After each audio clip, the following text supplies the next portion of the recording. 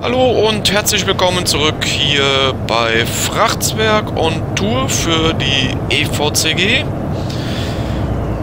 im Eurotruck Simulator 2 fahre ich hier gerade meine Tournummer oder immer noch meine Tournummer 642 ursprünglich von Italien Rom nach Flensburg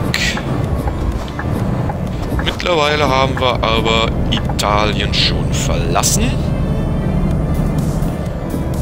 Und ich denke mal, mein nächster Stop wird dann irgendwo so langsam doch mal an einer Raststätte sein.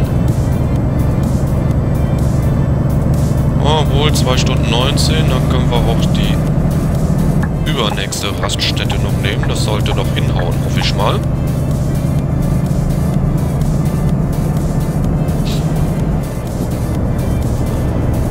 Ja, wie gesagt, dann äh, nachher an der Raststätte mal kurz äh, tanken müsste ich, glaube ich, auch mal mittlerweile so ein bisschen was. Und dann mal ein Ründchen schlafen.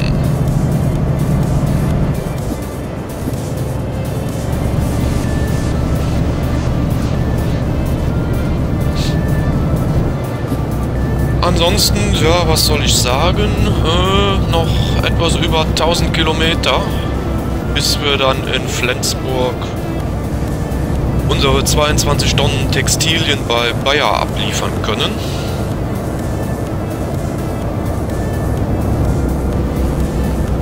Jo, aber lange Tour, aber ich denke mal, das wird sich schlussendlich dann doch auszahlen.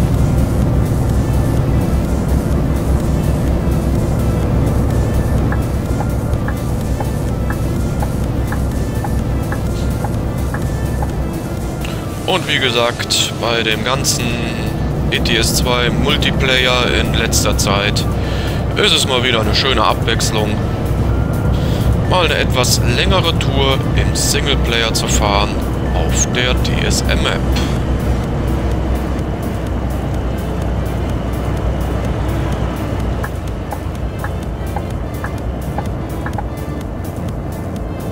Ah, da oben schönes Schloss.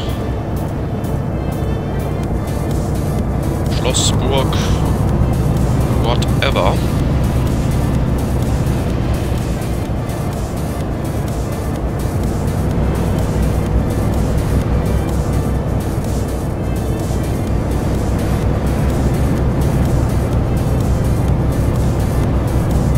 Jo, hier ist so langsam auch schon Deutschland in Sicht, sage ich mal. München ist schon ausgeschildert. Jetzt müssen wir schauen, dass wir hier an dem Haribo-LKW vorbeikommen.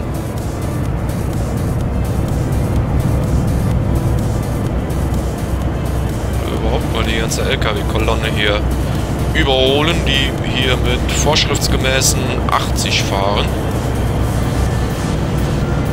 Gut, ähm, ich fahre hier mit 90, aber dann ist bei mir auch Feierabend. 10 drüber auf der Autobahn ist noch ein Toleranzbereich, sage ich mir.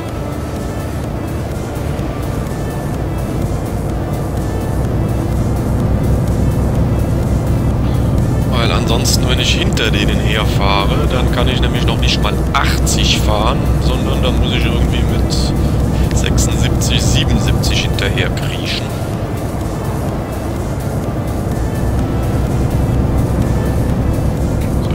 Schauen. Eine Stunde 26. Ja, dann nehmen wir doch die Tankstelle jetzt hier.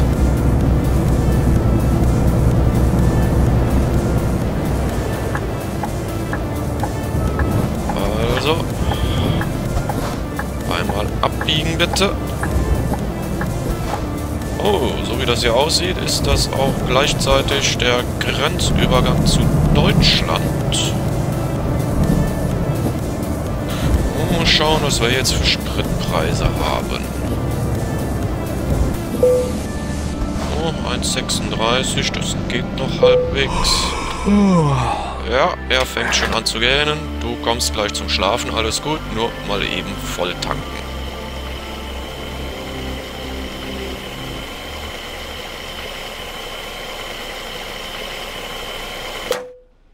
Oh, 800 Euro, gut.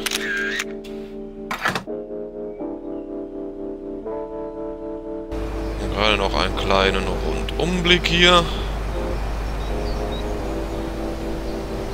Einmal schön rundum gucken. Gut. Und weiter geht's. Nicht allzu weit, sondern nur ein paar Meter weiter. Rüber auf den Rastplatz.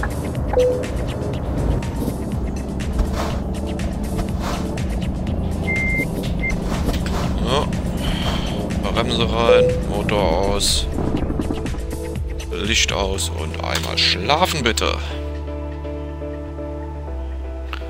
So. Wieder aufgewacht, haben wir es relativ duster. Viertel vor eins nachts. Also, Licht an. Und Attacke ab auf die Straße. Weiter geht's. Mittlerweile zurück in Deutschland, aber am südlichsten Zipfel von Deutschland.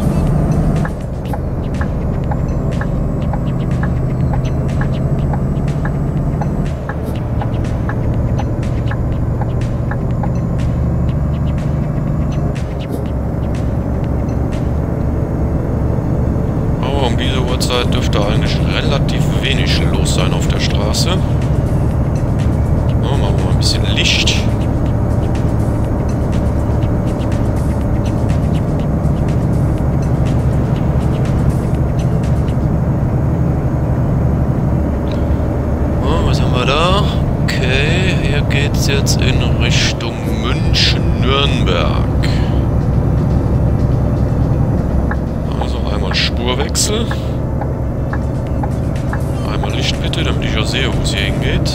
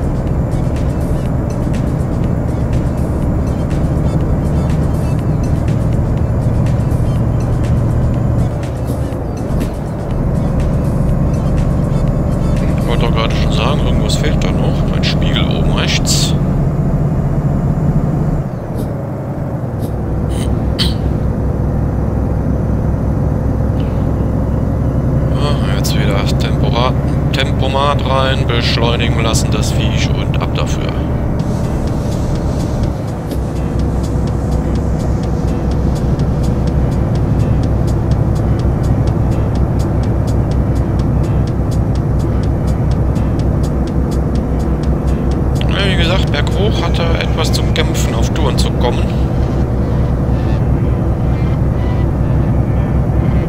Aber ansonsten eigentlich alles gut soweit.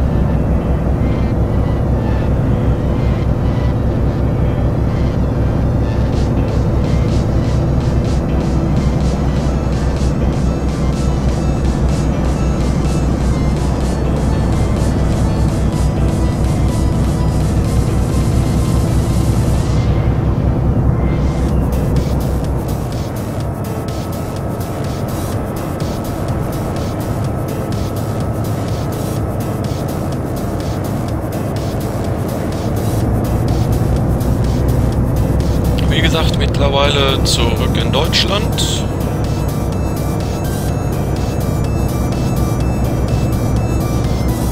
Äh, noch knapp unter 900 Kilometern. Also geht es jetzt einmal quer durch Deutschland. Vom Süden in den hohen Norden nach Flensburg hoch.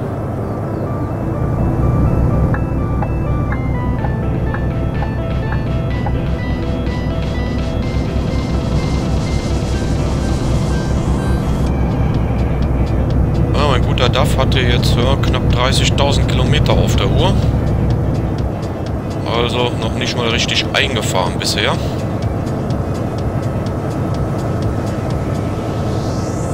Haben wir also summa summarum auch noch gut 20.000 Kilo, äh, 20 Kilometer Luft bis zur ersten Inspektion.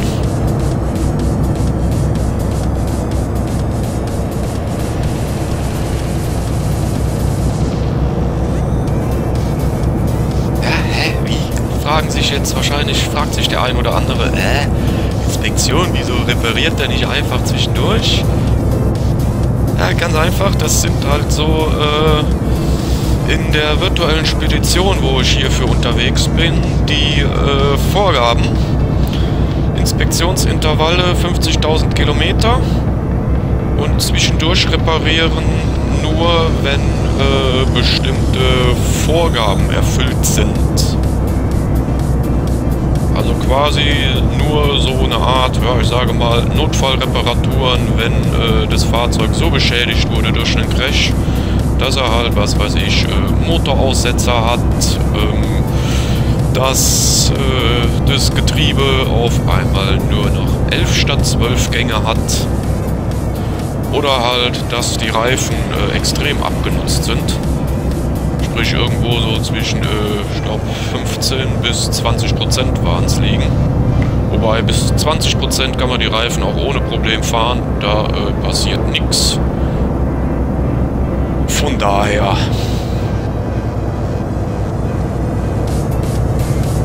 alles gut.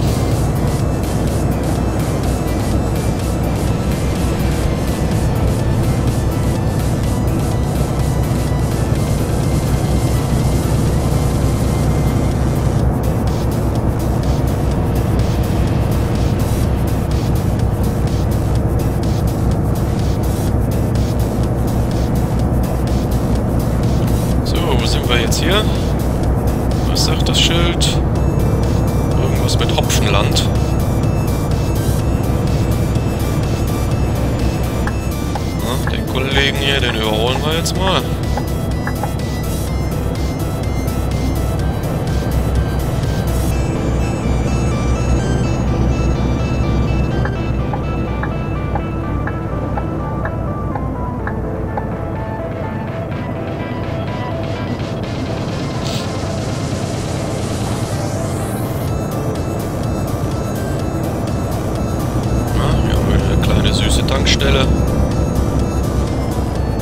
Großen finde ich persönlich eigentlich besser bzw. realistischer an der Autobahn. Die kleinen gehören für mich eigentlich eher so an die Landstraße. Aber man kann ja nicht nur so riesen Tankstellen verbauen.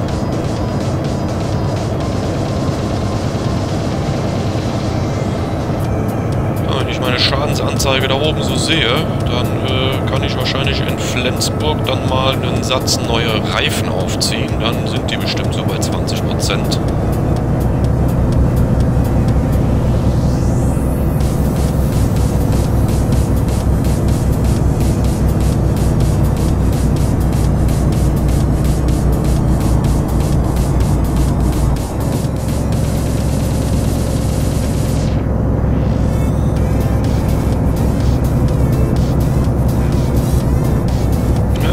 Berghoch hat er wieder ein bisschen zu ackern. Aber das macht ja auch Sinn. Weil es ist ja immer noch ein Simulator. Ah, da kommt ein Wohnmobil an uns vorbeigeflogen.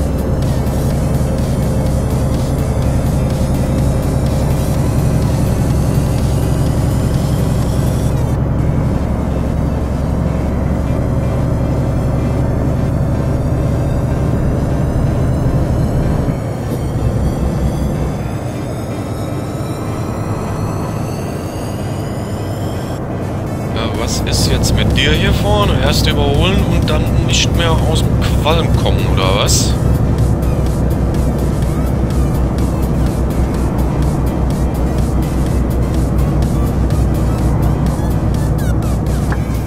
Ja, egal, wir müssen hier auf die Mittelspur, da wir weiter geradeaus müssen.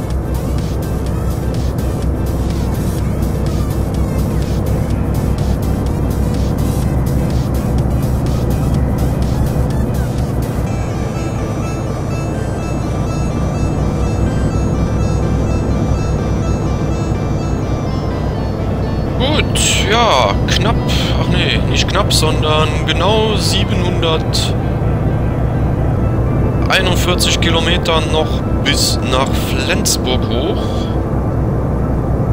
Oh, jetzt sind es nur noch 740. Und damit äh, verabschiede ich mich erstmal hier.